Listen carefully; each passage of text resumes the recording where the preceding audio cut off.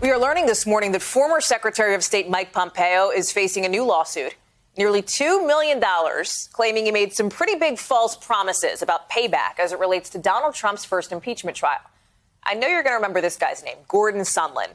That's him. He was the ambassador to the EU and a key witness in that trial. Well, today, just the last couple of hours, he filed a suit against Pompeo and the U.S. government to cover his legal fees. It's money he says Pompeo promised the State Department would reimburse him for, but then did not after hearing how he testified, calling it a commitment that was abandoned, apparently, he says, for political convenience.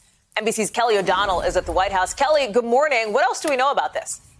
Well, there certainly could be a movie plot, and it takes us all back to a time when we remember the intensity around impeachment and some of the figures who were holding government office who became characters in this drama. Gordon Sondland was prominent among them. And what he is saying is that because the U.S. government, his employer, did not indemnify him and pay for his legal representation when he was a part of what his documents call a highly charged testimony in front of Congress that he incurred considerable expenses. Now, Sondland claims that he had been given assurances by Secretary of State Pompeo that his cost of counsel would be covered.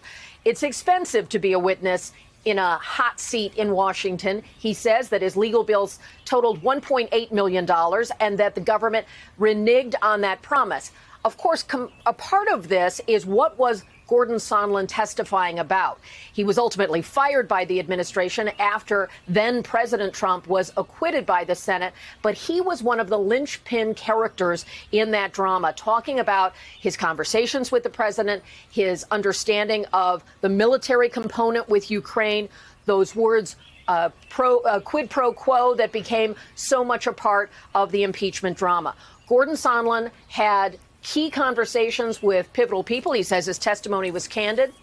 It ultimately was viewed by many as not favorable to President Trump. But remember, he got the job as EU ambassador because he had been a donor. That's right. And so he was a prominent figure who uh, was likely, you know, one of those people who the fates brought him into this, and now he is bringing it back, saying that Mike Pompeo needs to uh, be held accountable for this. Pompeo's representatives have not commented, and this will go to court and taking Gordon Sondland back to another kind of hot seat.